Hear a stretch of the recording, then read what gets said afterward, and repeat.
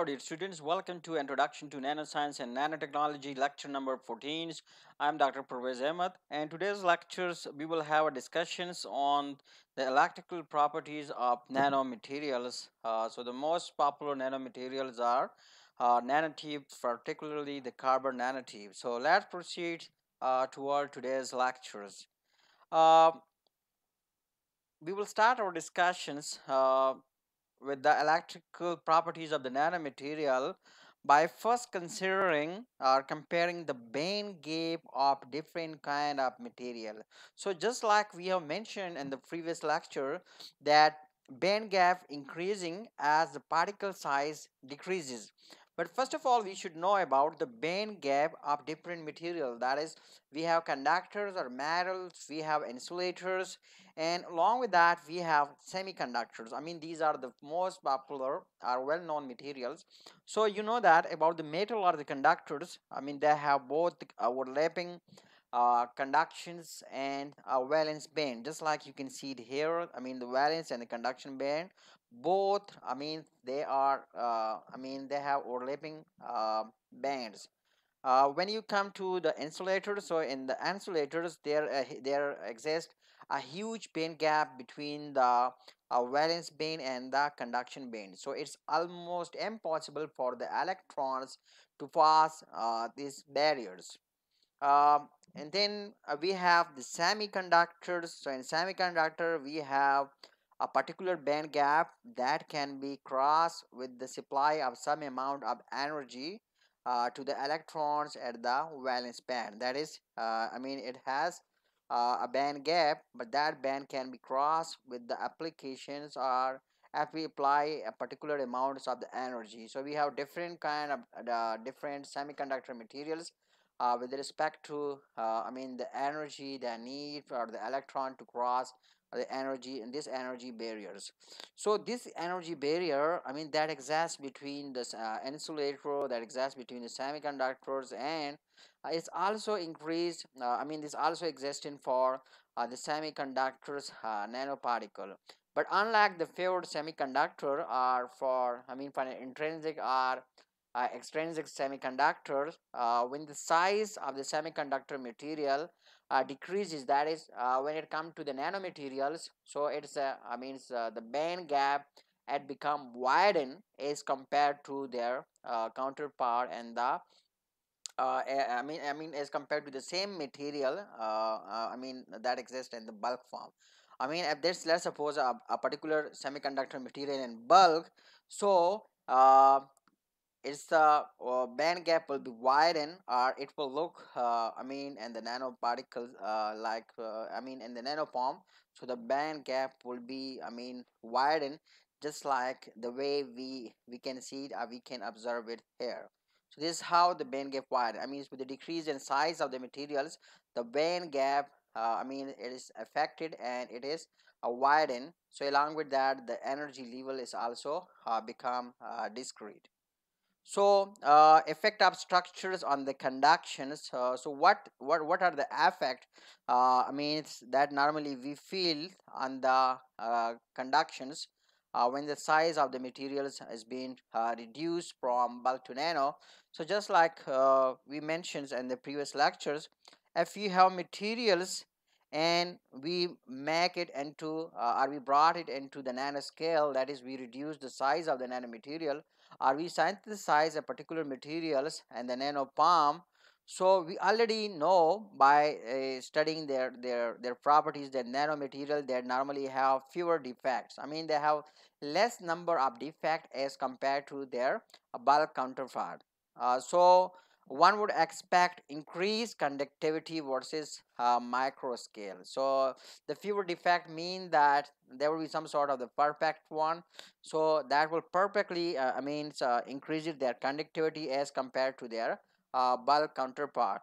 Along with that we have other electrical effect uh, at the nanoscale. That include surface scattering uh, change in the electronic structures uh, ballistic conductions, uh, uh, discrete charging, uh, tunneling conductions, and along with that we can observe microstructural effect. All of these there can be uh, some of these that can be studied in this lecture and some of these that will be discussed on the coming uh, in the coming lecture uh, i mean at suitable uh, locations but here uh, the most important one here this particular lecture is uh, i mean that is uh, surface scattering. Because we know that at nanoscales majority of atom they are lying at the surface. So surface scattering is very important regarding the electrical properties of the nanomaterial. So this why we will proceed toward the surface scattering and will trying to understand uh, the effect of surface, uh, surface scattering on the electrical properties of the nanomaterial. So what we have, electron have a main, uh, electron have a main free path and solid state materials. Uh, what it mean? It mean that uh, this main free path, uh, I mean, we just mentioned about the main free path that electron have a main, a mean free path in the solid state material so now the question is what is uh, mean mean free path so mean free path is the distance between the scattering event as charge carrier move through the material. I mean it is some uh, somehow a definitions of the mean free path. I mean the people already know uh, who have studied solid state physics or solid state chemistry. So they know what is mean by uh, mean free path. So mean free path is the distance between the scattering events uh, as the charge carrier move through uh, the materials. So uh, in metal uh, you know that where we have overlapping valence and conduction band. So the main free path is the order of tens of nanometers. I mean the main free path uh, in the metal or in the conductor it is in the order of uh, tens of uh, nanometer. So unlike metals so uh, if the dimension of the nanostructures are smaller uh, then the electron uh, main free path then the surface scattering becomes a factors i mean that is i mean we have it here for the metal. And for metal we are saying that uh, the main free path is on the order of tens of nanometers. But here we are saying that at the dimension of a nanostructures are smaller than the electron uh, main free path so what will happen? Then we will have the surface scattering and it will become a main factor for the conductivity or finding or affecting the electronic properties of the uh, nanomaterial. So how it will be so here we have an example and here uh, you can see that if you have bulk material that is micro scale materials then for macro scale materials you can see it here uh, uh, I mean we have the diameters of the materials that is greater than the mean free path and here you can see that that how the electrons are or how they can move and how the transport we have. But if we have the nanomaterials so in nanomaterial you can see that we have the diameters the diameter of the material is smaller than the mean free path of the electrons so we can have the elastic scattering. And here uh, we have again uh, we can have the inelastic scattering. So what we have uh, what kind of scattering we have uh, in the nanomaterial? So basically there are two type of surface uh, scattering uh, that exist in the nanomaterials. And they are well known uh, I mean they are elastic and inelastic scattering. So now what what is the effect of elastic scattering in nanomaterial particularly in nanowire and nanotubes? And what uh, are the effect of inelastic scattering uh, on the uh, at, at the nanoscale uh, particularly in the uh, nanomaterial? So uh, we remember we're considering that with respect to the conductivity or the electrical property. So elastic scattering uh, when we have the elastic scattering so we remember it does not affect the conductivity. I mean the elastic scattering uh, it does not affect the conductivity while the inelastic scattering just like you can see it here is some sort of the inelastic scattering i mean the uh, diagram for inelastic scattering. So inelastic scattering decreases conductivity so uh, what we have uh, if you want to find the electrical property of the nanomaterial so we should also uh, i mean give that factor in mind whether the scattering will be elastic or inelastic. So if we have elastic scattering uh, so i mean if we have nanomaterial and the diameter is smaller than the main free path uh, just like the nanowire so we will have the elastic scattering and in case of elastic scattering the conductivity is not affected. But unlike that if we have inelastic scattering so uh, it means that the scattering uh, i mean uh, the inelastic scattering the conductivity uh, decreases. So the example of the electrical properties uh, we will uh, change as what? Uh, we will change uh, the conductivity as an example we will consider the example of carbon nanotubes and we will try to understand the conductivity of the nanotube. So you remember that what are nanotubes nanotubes are long thin cylindrical structure of the carbon particularly if we talk about the carbon nanotube so carbon nanotubes are long thin cylindrical structures of the carbon. And a, and a good example are the uh, I mean it's uh, a typical uh, micrograph or typical uh, image of the carbon nanotubes of different kind. You can see or you can observe here uh, in this particular slide. I mean the, this is the Z, Z type uh, of carbon nanotubes armchair and this chiral carbon nanotubes. I mean the people who are in the field of nanotechnology they are are well aware that carbon nanotube with respect to their diameter or chirality they are being divided in two different uh, kinds. So all these types they are given here that what is mean by the chiral what is mean by the armchair and what is mean by uh, the zigzag. So this is uh, a typical uh, image a typical, typical uh, a photograph of the carbon nanotube.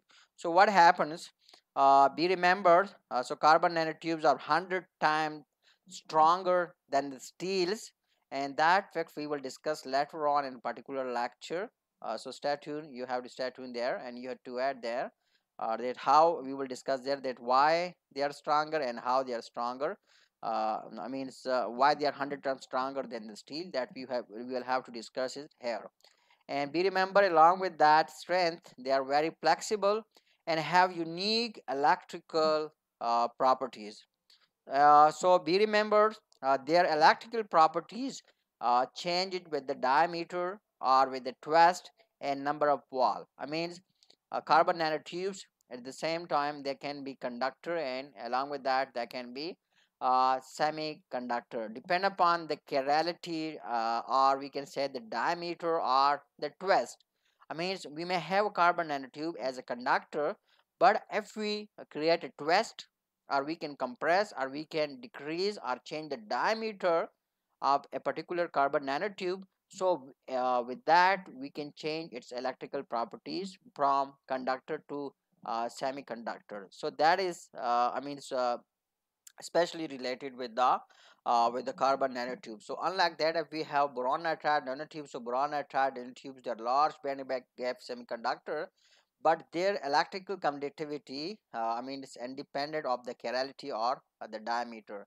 So that's why in case of boron nitride nanotube we are saying that they have independent uh, diameter independent uh, electrical uh, property. So they can be just like as we mentioned about the carbon nanotube they can be either conducting or semiconductor in their electrical behavior. But this behavior is totally dependent on the diameter or, or the twist. So if we just create a twist or change the diameters of a carbon nanotube so we can change their conducting or semiconductor uh, properties. I mean their electrical behavior is totally dependent upon the diameter or twist or number of wall. So that's all we have for this lecture. I hope you enjoy. Uh, see you for next lectures. And that lecture will be on uh, melting point of a substance at the nanoscale. That will be lecture number 15 so stay tuned with the lecture number 15 uh, hope you will learn a lot there also. So till then uh, bye bye